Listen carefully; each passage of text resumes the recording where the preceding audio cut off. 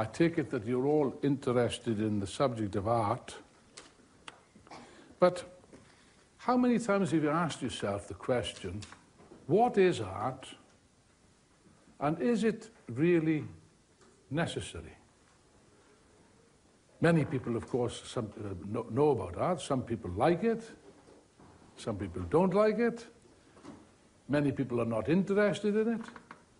But the question is, what is the role of art in society? Now, uh, nowadays, I think that very few people, perhaps even very few of you, would actually be prepared to say, no, no, art is necessary. For most people, art is uh, putting a, a pretty picture on the wall, which they may or may not look at occasionally. But this is hardly something, it may be nice, it may be pleasing, but it's hardly necessary. Food is necessary. Housing is necessary. Clothes are necessary. Is art really necessary? Now, I, I want to recommend uh, a book to you by a, a man called Ernst Fischer, which has the title The Necessity of Art. Ernst Fischer was a Marxist uh, art historian marvelous writer. It's a book which I strongly recommend, even if you don't agree with his ideas or with Marxism, you will find this a most fascinating book. And therefore, the title of, of my lecture today is, is just that The Necessity of Art. Now, I repeat, nowadays, most people would not consider art to be necessary, something you could take it or leave it. And yet, you see, going back into the remote past, you could argue, and many people have argued, that art is something so necessary to our species that the origins of our species, of Homo sapiens sapiens, begins with art.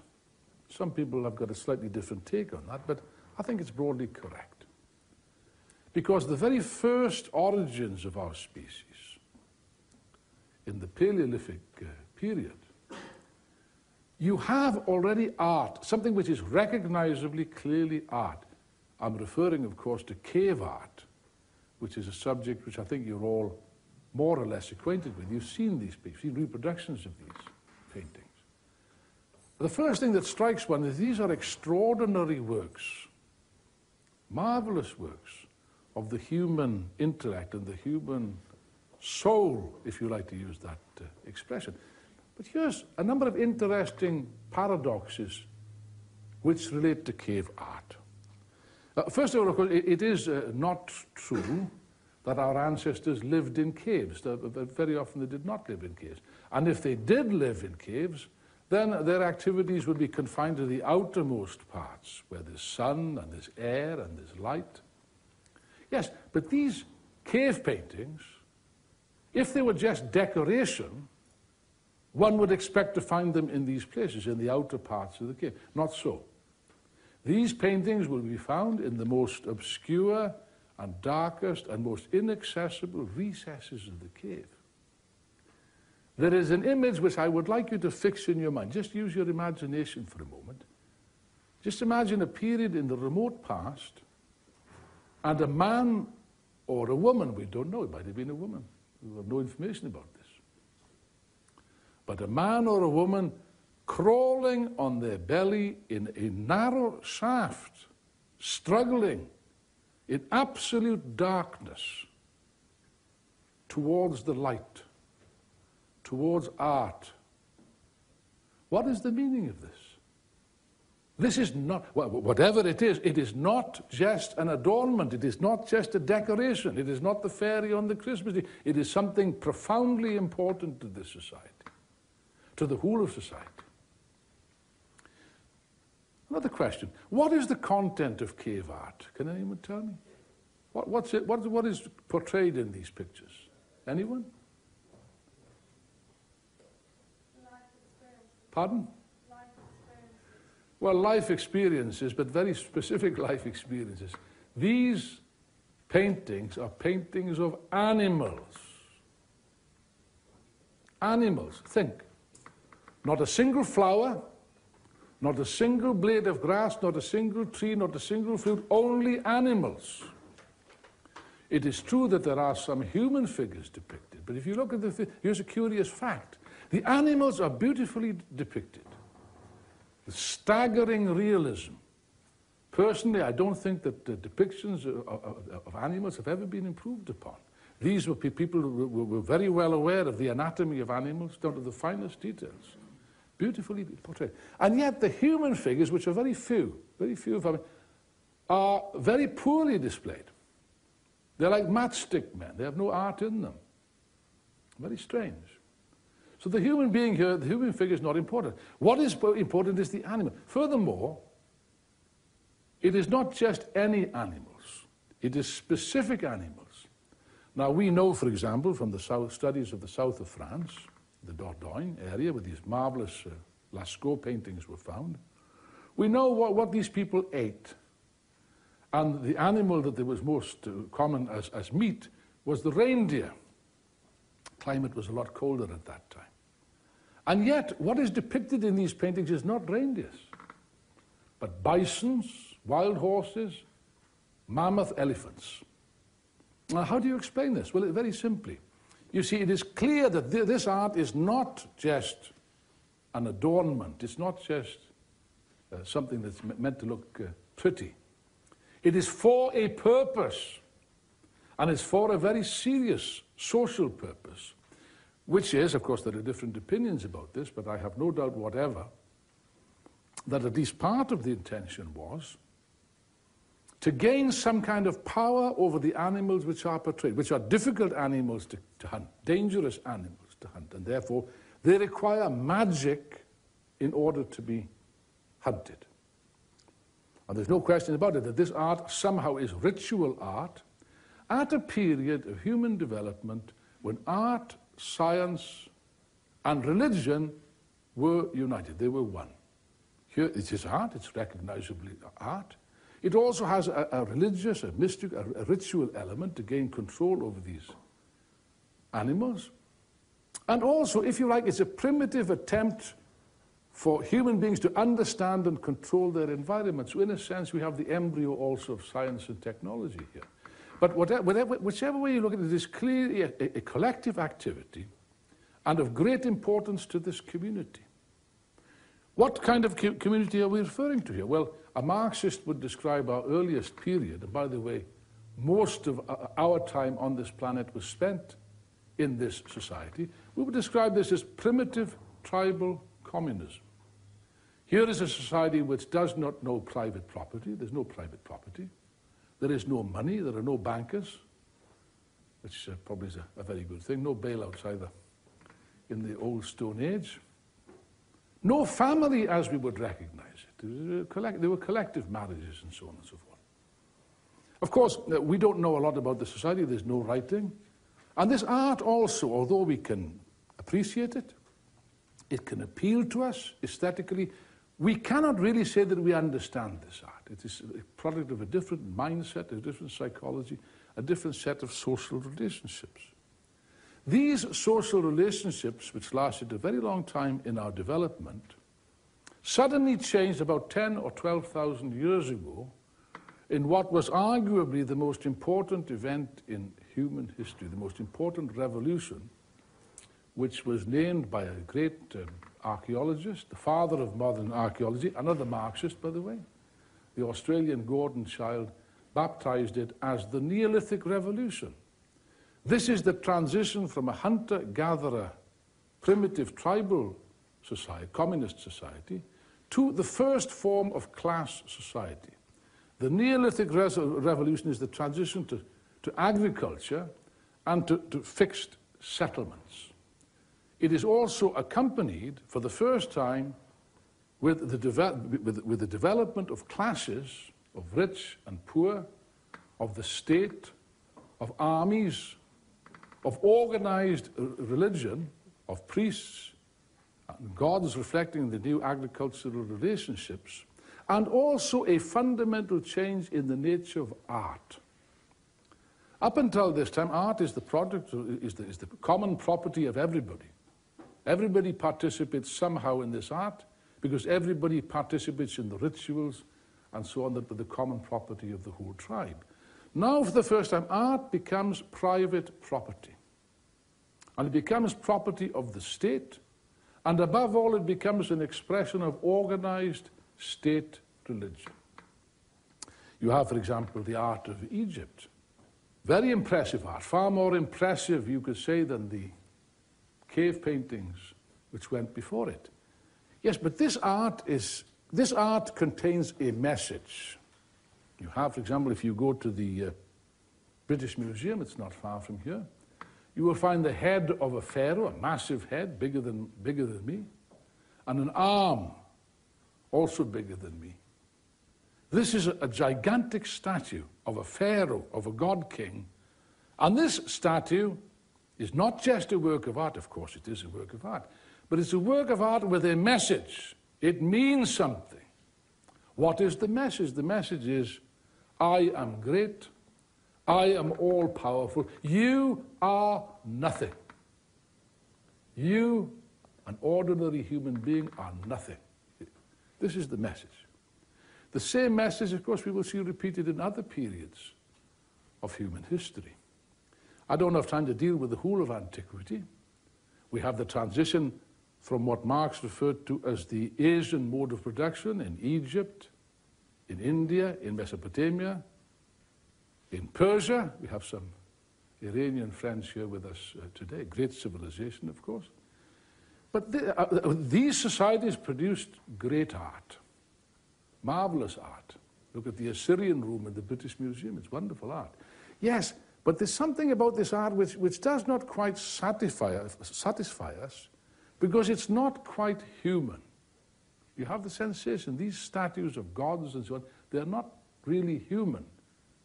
Uh, and there's some distance between ourselves and this art. Furthermore, this is static art. It doesn't change very much. For hundreds, maybe thousands of years, it doesn't change very much. The reason for this conservatism is that this is religious art which is dictated to by the priests according to strict ritual. It is anonymous art. I would argue that the, the vast majority of art, up until the period of the Renaissance, is anonymous. We don't know the names of the artists. These are, it's not important. The artist, this is not, a, this is not a, a free expression of the artist's soul. It is dictated to by the dictates of the state and of uh, religion. Possibly we first begin to feel more at home with art in the period of, of Greece and Rome, which is slave society, that's a new form of society, a new form of, of, of slavery, in which, first of all, we, we first feel that here we, we have art which you can identify with. You go to the British Museum and have a look at the Greek and Roman uh, sculptures. There is a wonderful Greek, well, it is a Greek sculpture, but it's a Roman imitation. The original has been lost, unfortunately. But here is a, a, picture of a depiction of a woman, of Aphrodite, the goddess of love, having a bath. Very sexy. And you feel it's not, how can this be stone? How can, how can such, such a thing be expressed by stone? You feel as if you touch this flesh, it, it, it will feel warm to the touch. It is such a wonderful depiction of the human form. And yet, all of these marvelous discoveries of, of culture, of literature, of art, of architecture in Rome and in Greece were based on something which we would, found, we would find today to be absolutely abhorrent. They were all based upon slavery. All this wonderful culture was based upon the work, the drudgery, the suffering of thousands and tens of thousands of slaves, which the Romans referred to with a very graphic expression, instrumentum vocale, a tool with a voice. All of our culture is based upon slavery. That's an important point to, to, to grasp. And yet, despite the horrors of slavery, human civilization did advance. One would have to say that this was definitely a step forward, it was definitely an advance. But of course, it reached its limits. Now, the, there is an idea present in society, more than, idea, more than an idea, it is a prejudice. And the prejudice is something like this. Perhaps some of you, maybe hopefully, might uh, decide at the end of this lecture to suddenly become a revolutionary Marxist and fight to change the world. If that's the case, I'd be delighted, of course. But if you would go home, go home to your mother and father and say, well, I've decided to be a revolutionary and change the world, I can just imagine the conversation. It would go something like this. No, no, no, don't be a fool. Don't be stupid. You can't change the world. You can't change society. You cannot change human nature. I thought that when I was your age, but I've, I've, got, I've got older and wiser and I've realized it's not possible. Incidentally, don't you believe somebody that says that they're older and wiser? I know quite a few people that get older and more stupid. That's, that's, another, uh, that's another argument. But what about this argument that you cannot change human nature? The argument is, is patently false because so-called human nature has changed many times in the course of history. Although people resist this, they don't understand, they can't, people don't like change. They don't like the idea of, of change. You can even see this in the cinema in Hollywood. There's a film called The Flint, Flintstones. You know the Flintstones? Anybody? Put your hands up, those that know the Flintstones. Ah, so I'm not completely out of date. Now, here, here's an interesting, here's a film about a society one million years ago in which there's private property and there's money and there's banks and there's prisons and there's the state and there's the bourgeois family in which the husband naturally is oppressed by the wife. In other words, just like now, just like today. Now, before you say anything else, I do understand that this is meant to be funny. This is meant to be a joke. And yet, and yet, and yet, people believe this. People really believe that society has never, has never changed, it's always been the same, people have the same, which of course is entirely false. If you look at human history, if it was to be represented as a clock, a 24-hour clock, then you would find that for the first, uh, what should we say, 22 hours, our ancestors lived in a society without money, without property, without the state, without the family as we know it, and they lived quite happily in these conditions. Then at a certain stage you have the Neolithic Revolution, you have the growth of class society, which changes everything. And it changes art, and it changes the role of art. Art is no longer the common property of the whole of society, but it's the property of a small, privileged minority. Now, I'm not saying whether this is good or bad. It's not a moralistic question, but it's a simple statement of fact. The truth is that this development of class society did push civilization forward. There's no question about it. But it pushed civilization forward at the cost of the majority, at the cost of the slaves, at the cost of the, as the Bible says, the hewers of wood and the drawers of water. And art now becomes the monopoly of the ruling class. Culture becomes the monopoly of the ruling class. Aristotle was a, perhaps the most profound philosopher of, of antiquity put it in the following way in his marvelous book, the, the Metaphysics. He said, Man begins to philosophize when the needs of life are provided. Marvelous, profound expression. And he goes on. Consequently, mathematics and astronomy were discovered in Egypt because the priests did not have to work. Marvelous expression. If, you, if you're genuinely free, if you're free from slavery, if you don't have to work, then you can spend your time looking at the skies and looking at the stars. You can predict, for example, when the Nile is going to overflow its banks. This gives you power. Knowledge is power. And power now becomes a monopoly of the ruling class. What you'll also find, if you look at the at human history, incidentally, capitalism, which is the, city, the, the society that we live in now, has only existed for about the last two minutes on this clock. It's only existed for 200 years. So the idea that everything we have in this society is something which is natural, which is a reflection of human nature, is entirely false. On the contrary, what you'll find if you draw, uh, a, shall we say, a, a graph of the last 12,000 years, you will find different societies, like the Asiatic mode of production, which rises and falls.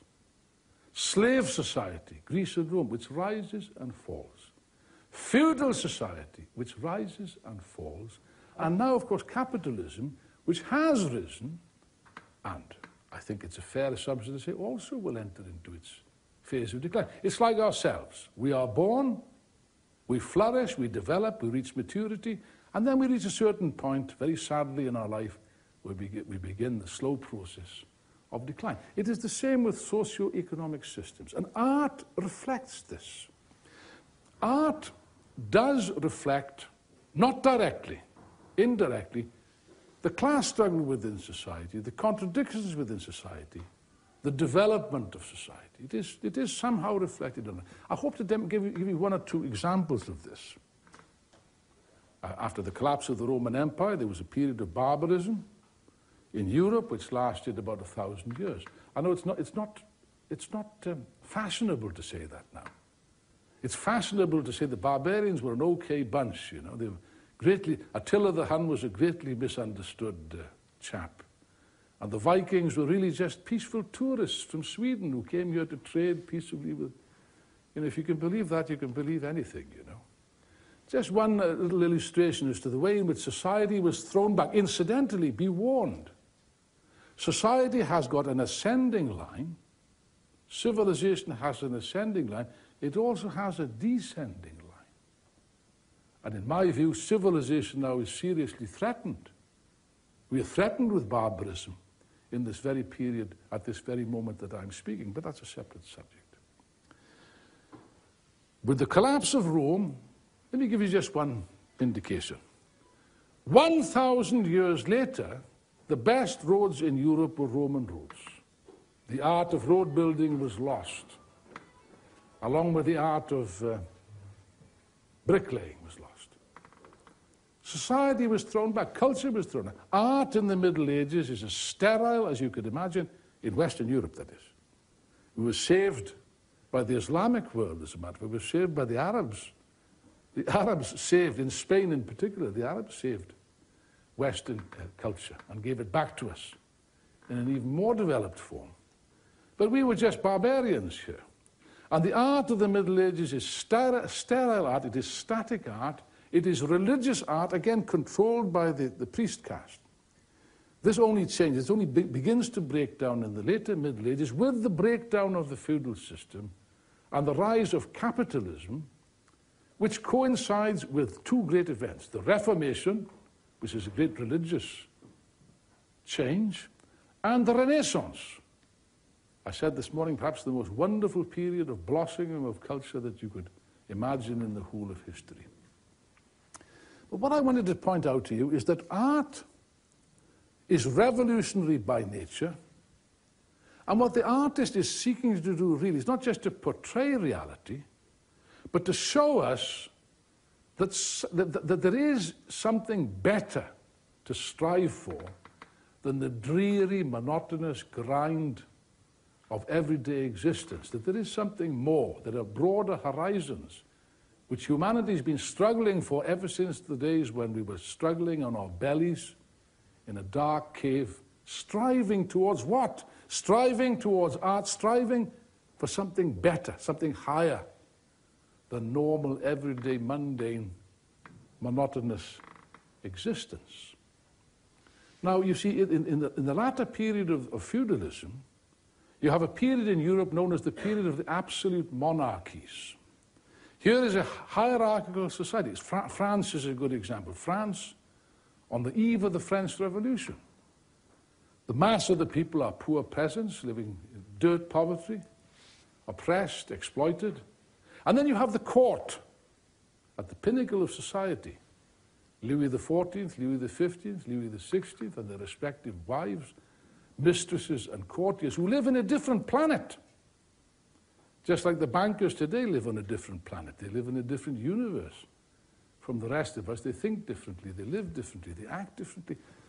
Here's an extreme example of the where you get the ruling class entirely separated from society. Art also is entirely separated. And the conception of these people is that this was going to go on forever. They always think this will last forever. Adolf Hitler talked about the thousand-year Reich. It didn't last a thousand years, it didn't even last just over a decade. However, they've all got these delusions of grandeur. And uh, the French monarchy had these ideas. Let me give you an example. Even such a thing, I suppose, is a form of art, as gardening. Have you been, any of you been to the gardens of Versailles? If you haven't been, you must have seen pictures of it. Yes, somebody's been. How would you describe these gardens? Give me one word. Grand, yeah. Another word. Very grand. And another word. Geometrical, right? It's absolutely straight lines, everything in perfect. Yes, but nature is not like that, is it? Nature is wild. Nature is free. Nature is anarchic. It's chaotic. These gardens are nature under complete control by the state, by the monarchy. Every class in its place, every person in his or her place, leading up to the pinnacle. In these gardens, brother, Marie Antoinette, the Austrian woman, the wife of Louis XVI, played games. They had plays with music and so on, in which she would usually dress up as a shepherdess and have beautiful love stories with a shepherd, you know, with nice pink frilly dresses and so on. Of course, that's not much to do with the real French shepherd. And the real French shepherdess who was starving and living in huts and dressed in rags. This is the degree to which art and uh, culture so becomes entirely separated from reality. It becomes unreal. But this unreal world was burst apart. Suddenly, without warning. Nobody expected this. It was like a thunderbolt from a clear blue sky in July 1789 when the people of France rose up and carried through one of the most glorious events in human history the French Revolution. People are a bit frightened of the word revolution. All that a revolution is, is a fundamental change in society. Society reaches the point where it cannot, cannot con continue as it has done, and the change is necessary and the change is brought about. Of course, nowadays it's got a very bad name. I did a program on the History Channel about five years ago. Some people came from America and interviewed me in the Wallace collection about the French Revolution, and they were very nice people, very honest people. But they were astounded at what I had to say. It was the French Revolution. Was it really worthwhile, they said. It was all blood and guts and stuff like this. And yet, just think for a moment about the words of one of our greatest English poets. William Wordsworth was a young man, he went to France in, in 1792. Uh, you know what he wrote? It's in his work, The Prelude. He said, Bliss 'twas in that dawn to be alive, but to be young was very heaven. William Wordsworth. With those few lines, you can sense the feeling of colossal liberation and emancipation that this revolution had. It aroused enormous hopes. What was the reflection of the French Revolution in art? It had a very profound repercussion in art, in literature, in philosophy, for the whole of Europe, in poetry. All the greatest English and Scottish poets, Rabbie Burns, my hero, ordinary working man who became a, a marvelous poet, all were inspired by the vision of a people that decided to fight for freedom and take its destinies into its own hands. No matter what is said about anything else, it was a colossal act of social emancipation, which inspired, it changed art. Now, in a sense, the art and revolution are a little bit contradictory. Why do I say this? Because when people are fighting for their lives, art really, unfortunately, you could say, takes a second place, but it must take a second seat.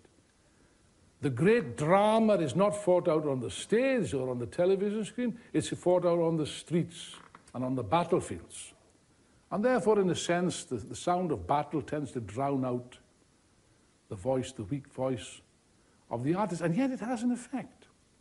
There was a very great artist, a painter. Let's deal with painting first. You deal with the painting of the old regime, of the aristocracy. You can see it, that the paintings, and they're marvelous paintings as far as it goes, of Fragonard, of Boucher, but they're completely decadent in the sense here are pictures, wonderful erotic pictures of uh, scantily clad uh, young ladies prancing around on beds for the decoration of aristocratic bedrooms, or uh, Fragonard's wonderful picture of, of the, the, sw the, swing, which you can see in the Wallace collection. Again, frilly dresses and uh, nymphs and shepherds and all this kind of stuff. And of course, Rome.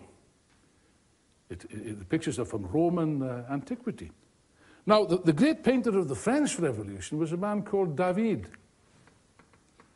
He also took as his uh, subjects mainly Roman history. Yes, but it's a different Rome. It's a different Rome and it's different history. The old regime deals with the Roman Empire. David deals with the Roman Republic. It's austere painting, it's dramatic painting, it's heroic painting. It's saying to the people, we got to stand up and fight, like the ancient Romans stood up and, and, and fought for their, for their freedom. And it entered the world of music. I realize music is not the domain of, of perhaps this particular school, but nevertheless, we, it's all a form of art. Classical music, so called, again, was neat. Sonata form, all the same. You know, you may like it, you may dislike it, but it was all very neatly arranged, very pleasant. Music for aristocrats. Largely speaking, I'm, be, I'm being a bit unkind here. It's the kind of music that you could hum to, or you go away cheerfully away from the country, you sing, this, sing a little tune, or fall asleep quietly during one of these symphonies. And along comes a great, perhaps the greatest of all composer, inspired by the French Revolution with fire in his belly, Ludwig van Beethoven. And his third symphony, the Eroica Symphony, begins, I don't have the thing, but it begins like this. I hope I don't break something. Bang, bang. And then it takes off like a cavalry charge. That, those two opening chords remind me of a French revolutionary orator banging the table and demanding attention. The first movement of Beethoven's Eroica Symphony is, is, is, as, as long as any symphony by Mozart or Haydn. Entirely different. A revolution in music. It, it shocked people. Art, great art and great music has the power to shock. You know, there's a wonderful art critic. I don't much like cri uh, critics.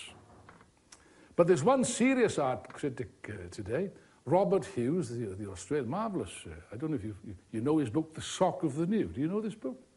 If you don't, please read it. It's a wonderful book. And uh, he says quite correctly, great art must have the power to shock.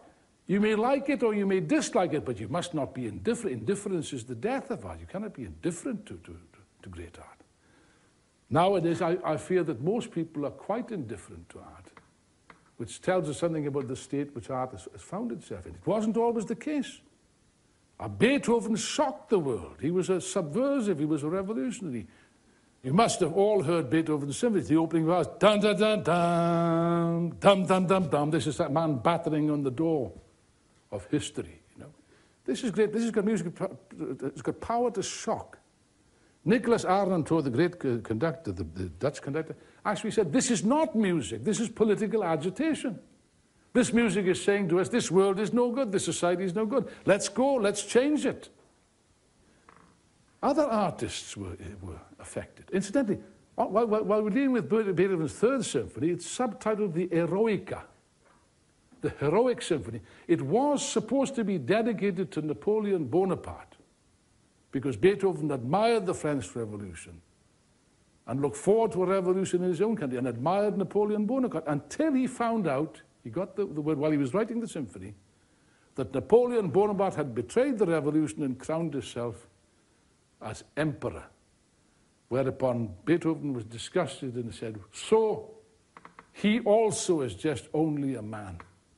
And he scratched out the dedication to Napoleon Bonaparte and he wrote in its place, to a hero, to the memory of a hero.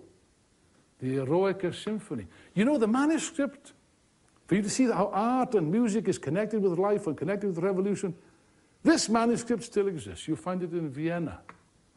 And if you look at this manuscript, if you look where he crossed out this dedication, he crossed it out with such fury that he tore a hole in the page. A great revolutionary and a great, possibly the greatest composer, I would say, of all time. Let's take another artist, which I consider to be one of the greatest of all times, which I strongly recommend to you. You would need to go to the Prado Museum in Madrid. I'm referring to Goya. I think one of the most fantastic artists that ever lived. And here is art that is relevant. Here is art that reflects the, the human condition Somebody mentioned that phrase uh, uh, earlier on. In the most dramatic way possible. And by the way, there is not one Goya, there are two Goyas. The Goya of the first period painted pictures, beautiful pictures, of elegant young ladies and men dancing, blue skies, the sun is always shining. Then suddenly there's a change. Napoleon's armies invaded Spain. A brutal, bloody war began. Guerrilla war, that's where the word comes from, guerrilla. Guerrilla is a small war. Subsequently, the, the, the French were driven out, but unfortunately, the, the monarchy returned, the Spanish monarchy, with the Inquisition, with blood and iron and all the dreams, because Goya was, a, like Beethoven, was a liberal. He was a revolutionary. He wanted change in Spain. He wanted democracy and liberty in Spain. All these dreams were shattered in the cruelest possible way with the return of absolutism, secret police, torture, trials, the Inquisition. And Goya died a bitter, very bitter old man, isolated. I think he was deaf like Beethoven. And deafness is a terrible form of isolation. He painted his last paintings on the wall of a small house in France, on the plaster. These were not meant for people to see. These were not meant for, for, for, for, for money or for fame. He was pouring out what was inside himself, what was in his. This is true art. Where the artist, without any external pressure, without any corruption or bribery or seeking after riches, pours out the inner contents of his or her soul. Goya's black period. Now, here is the most astonishing art, the most modern art, art that really shocks. It is black. It is literally black. The earlier period, the skies are sunny, the sun is always shining, the skies are blue. Here, the sky is black, permanently black. Here, you have a picture of a mass of some kind of fluid or mud or vomit, it's the color of vomit. And the sky is the color of vomit, of a dog. You just see the dog's head, and the dog is drowning in this mess. Or two men hitting each other with, with cudgels, killing each other, and they're also sinking. Here are pictures of devils and demons and witches. It is a nightmare. It is a nightmare expressed in art. Yes, but this nightmare was what was actually happening in Goya's own country. There is a wonderful collection of etchings called Los Desastres de la Guerra, the disasters of war. More uh, uh, pictures of a greater impact, a greater, a greater condemnation of human cruelty and war you could not imagine. Goya, a great artist. Why a great artist? Because on the one hand, he's expressing what is in himself. This is true art. This is not prostitution. This is true art. At the same time, he's expressing a general reality, a truth which is a universal truth. He's expressing the period in which he lives. You know, I wish we had a Goya today that was capable of expressing the dilemma which our world face, faces. Instead of that, what do you get? An unmade bed? Does this really express the full drama of the human race at the end of the, at the beginning of the 20, 21st century? Well, I have a reasonable doubt. Or a shark pickled in formaldehyde. What does this express? What universal truth does this say? I think it just says a very simple thing. I am a shark pickled in formaldehyde.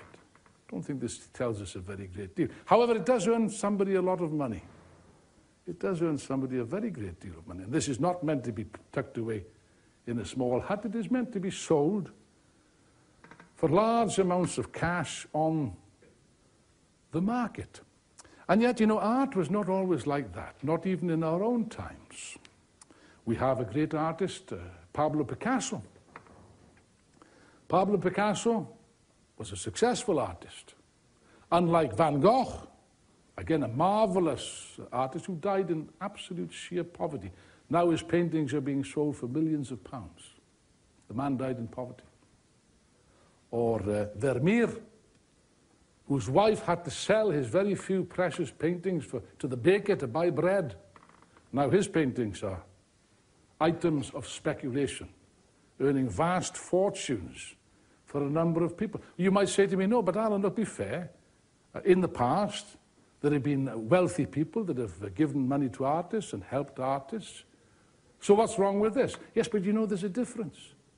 The Medici, during the Renaissance, were bandits in the very literal sense of the word. But it is true they were bandits with very good artistic taste. You know, they loved art. It is true, they loved art. And they promoted people such as uh, Leonardo da Vinci, Michelangelo. They loved art. Nowadays, art is a form of prostitution on a vast scale. Nowadays, people go to an art market not because they love art, but because art is one commodity more. Just the same as underpants or uh, rubber tires or television sets or anything else, or oil or coconuts. It's a commodity to be bought and sold, and it is prostitution on a vast scale. Works of art are, are, are purchased by big companies, big capitalist companies, as items of speculation. They are purchased by anonymous buyers from Japan over the telephone, uh, Japan or New York, or whatever. For what purpose? To be appreciated? No, they're not appreciated. They are locked away in bank vaults where human eyes will never see them again. Humanity is thus deprived of access to works of great artistic uh, values. The museums can no longer keep up. The art gallery, Robert Hughes makes this point very forcibly in an excellent television pro program that he made recently called uh, The Goya, no, what was it called? The Mona Lisa Curse. The Mona Lisa Curse. I don't know if you saw that on Channel 4. Marvelous program in which he debunked all, all this, uh, this business. Art has become prostituted and uh, uh, commercialized to the extent that it ceases to be art, it's just a commodity. Goya's paintings, he, the man died in star- almost of starvation, sold now for millions, to be hidden away as items of speculation, pure speculation. Now, I ask you, what has this activity got in common with art? With true art? whereby the artist should be free to express himself, uh, freely express uh, what is inside himself or what is, what is inside herself. I, I answer, it has nothing in common. It is a complete degeneration, it is a complete abomination, and reflects the values of this society. You know, I said earlier that this Pharaoh, this statue of Pharaoh, gives us a message I am big, I am powerful, you are nothing. Yes, but we have our modern pharaohs. They're not god kings. They know no religion. The only religion that they know is capital. It's got dollar signs on it. And yet it says the same thing that you are nothing. In this uh, hall today, I have no doubt, I've never met you before, you've never met me, but I've no doubt that the, it may well be that among you, there are people with, men and women with a great artistic potential.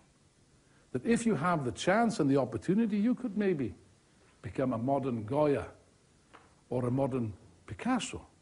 Unfortunately, what you will find is that the art world is part of the money world and is well integrated into the money world, and therefore you live under a, under a dictatorship just as absolute in its own way as the old dictatorship of the church or the Egyptian pharaohs or of Joseph Stalin or of Adolf Hitler. It is not a visible dictatorship, but it's the power of money which dominates all of our lives and dictates whether or not you'll have a job, whether or not you'll have a house.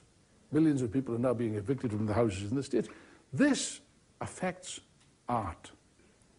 Unfortunately, art no longer has the power to shock. It no longer has this, at least the official art, what is accepted, the Damien Hirsts and people of that, uh, the Jeff Koons and people of that character. It has become trivial. It is irrelevant.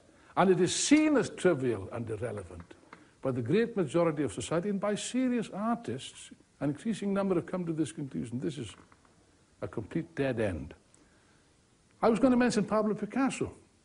During the Spanish Civil War, in which one million people were killed, I have some quite a lot of personal experience of uh, Spain. Of the, uh, I participated in the struggle against the Frank, Franco dictatorship in the 1970s. But nevertheless, Spain again is a country with enormous artistic traditions. And here you have a man like Picasso, who spent most of his life in exile. There was an incident in 1937 in which uh, Hitler, supporting Franco's armies, firebombed the small town of Guernica in the Basque country. It had no military va value, there was no base there, there were no guns there, there were no soldiers, just ordinary men, women, and kids in a, in a busy market day, buying their necessities, their food, and so on and so forth. They dropped bombs on Guernica and entirely liquidated it as an act of pure terrorism, of pure terror, state terror. And Pablo Picasso reacted as one would expect a great artist to react by producing his great masterpiece, Guernica, which you probably have seen in reproduction. You go to Madrid, you can see it. I believe it's still in Madrid. There's plans to move it to Bilbao, but I don't think they've done that. Here's an astonishing depiction of the horrors of war in the tradition of Goya. Here you have a bull, a mad bull, a savage bull out of, out of control. Here you have a horse penetrated by a lance, a, a, a, a mother with a dead baby in her arms, howling to the, to the heavens, the dumb heavens, of course, which can't hear or do anything about it. Here's an astonishing, powerful picture of the horrors of war and the barbarism of fascism. This is great art. And I repeat, why is it great? It is great because it's, it's not propaganda, by the way. Uh, propaganda cannot be great art. This is not political propaganda. This is a cry from the soul, a cry from the heart of a man that's committed to what? Committed not to a political party necessarily, committed to humanity, committed to the cause of progress against fascism, committed to the side of the workers and peasants of Spain against this fascist barbarism. Yes, it is an intensely personal declaration, but it's a personal declaration which means something for the majority of, of humanity. Now, again, I, I would compare that, which is great art, to the present lamentable state, what is known as, as Brit art. I want to make it clear that I am in favor of complete freedom for artists. Art must be free.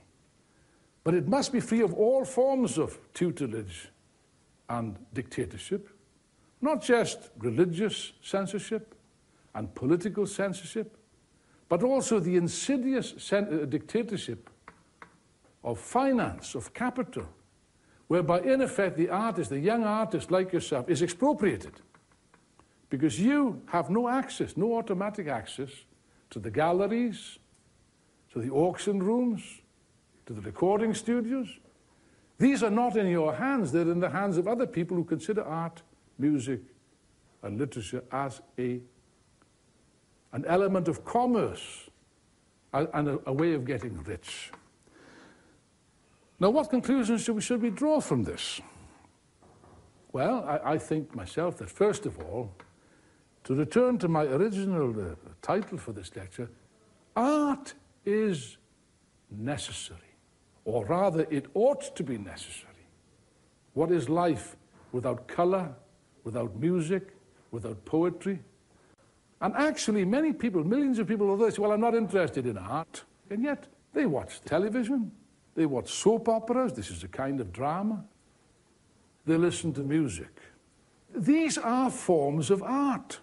I'm not saying whether it's good art or bad, or bad art, but it is, these are forms of art. And people become passionate about this. They go to the cinema, they become passionate about films. Why? Because this art, for a moment, takes them out of the, of the dreary, monotonous, boring, everyday existence and shows them that something else is possible, that there is something else. This is magic. Art. Ernst Fischer said quite correctly art is magic. Art was magic in its origins, as I tried to explain at the beginning. Art and magic, with the, and art still has this potential for, for, for magic. It is something in common with religion, except that myself, I stand here as a declared, avowed Marxist and materialist, and therefore an irreconcilable atheist. I don't want to offend anybody's religious sentiments if you have any, but as far as I'm concerned, anyone anyone can believe whatever they want. All I would say is this I don't understand religion. as far as I understand what the Christian church says, is that you must be good. And what, what do we mean by good? Well, the priest means that you must accept, you see. For example, if you're a capitalist and the boss robs you and exploits you, just, just accept. Thank you very much. Let's have some more. If you're a, a wife and your husband beats you and tortures you, just turn the other cheek. And if you do this, if you suffer all your life and you accept all the impositions and you're very good and you meekly and humbly submit and so on, if you're good, then you'll be all right, you'll be very happy, you'll have a wonderful time when you're dead. I never understood this. Let me, let me put a different uh, perspective to you. You only live once. We only live once. There is only one life. There is only one world, this marvelous, beautiful, physical, material world that we're privileged to live in. So, should we not then strive to make this life worth living because we won't have another one? Should we make it, uh, this planet worth living in, a, a place fit for men and women? This is what socialism is about. This is what the struggle for revolution is about. And art is part of this. Because art shares with religion this, and it gives us an idea that something could be better, that life could be better. There's more to life than just the drudgery, the working long hours of overtime to survive, or worrying about humiliating things like will I have a house or will I have a, a school for my kids and stuff like that. I go back to this marvelous phrase of Aristotle, 2,300 years ago. Man begins to philosophize when the needs of life are provided. What's this got to do with art? Nowadays, art is considered to be irrelevant by most people. Irrelevant. We're not interested in it. And it's increasingly alienated. It's nothing to do. It doesn't say anything to anybody anymore. There was a time when it did. I believe that we should fight for a new society in which the majority of people will take their own destiny into their own hands. That's what a revolution means. People must take their fate into their own hands, in which art will play the role which it should always have played. After all, think of this. So far, people have, have their lives here. Here's my life, and here is art. And the two never meet. On the contrary, in a genuine socialist society, art must be part of life. And after all, the greatest art of all is life itself. Why should art be separated? Trotsky, the Russian revolutionary, once said, he compared art galleries to concentration camps. He said, look, all these beautiful works of art, they're locked up in a concentration camp. It is separate from life. People live, I know some of my friends from, uh, from Iran want to study architecture. Architecture is probably the most neglected of all the arts. And yet it's potentially the most important. We live in houses, don't we, most of us? Yes, we live in ugly houses, in ugly streets, in ugly, badly designed, designed cities, which are monstrous, inhuman places. We work in ugly workplaces. Work has nothing to do with us. We're alienated from work. It doesn't fulfill us. You're studying here. It's a good thing that you study. Will you get a job at the end of it? Or rather, will you get a job which you want to, to do? Will you, will you be able to practice art? Will you be able to practice architecture? The answer should be yes, because we need artists, we need architects above all. Unfortunately, the way things are going, there's plenty of room for bankers, but there's not much room for artists, doctors, teachers, professors, things which are really necessary to, to, to, this, to this world. I'll just finish on one note. Religion promises us a paradise beyond the grave. This paradise does not exist. Why should not men and women fight and realize a paradise in this world? A paradise in this life? Don't we have the means for this? Don't we have the science? Don't we have the technology? There is no objective reason for anyone to starve to death in this world. They say, oh, there's not enough food. Nonsense. There's no reason why any child should die for the lack of clean water. Eight million people starve to death every year. 1.2 billion people live on $1 a day. Why?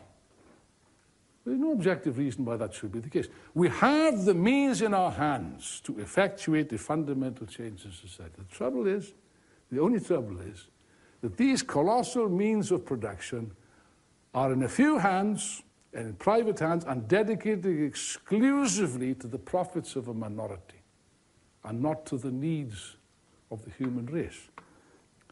You know, the human race has got a wonderful history of solving its problems. Humanity can solve its problems. And art can play a big role. Architecture will play a big role.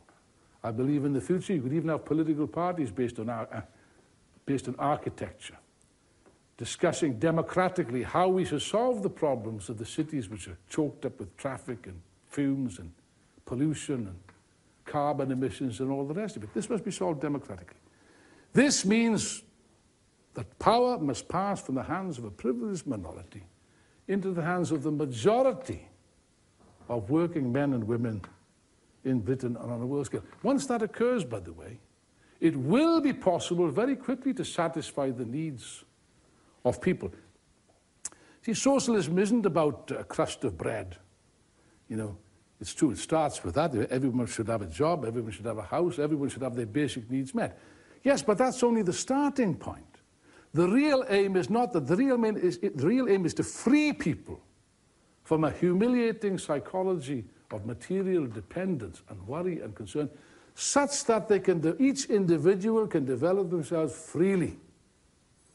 Socialism, to quote Frederick Engels, is mankind's leap from the realm of necessity to the realm of freedom. And when we attain such a society, which with your assistance I believe we will succeed, then art will become once again a necessary part of human life, a way in which people can seek to improve themselves, to no longer be concerned about the humiliating grind of existence, to raise their eyes to the stars, and to really create a paradise in this world. Thank you.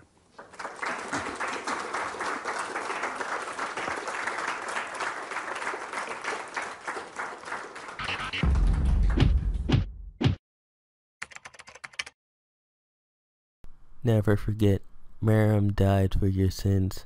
Praise be to Togashi's name.